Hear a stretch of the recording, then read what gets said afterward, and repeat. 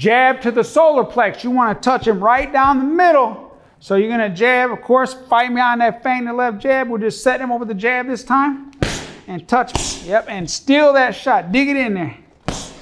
Yep, good. Get in there. And we'll show you from this angle, but notice, notice how he's getting off the line. He's right there.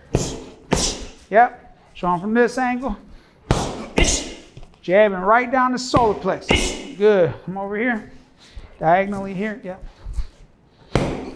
Good. Good. Nice hard shot.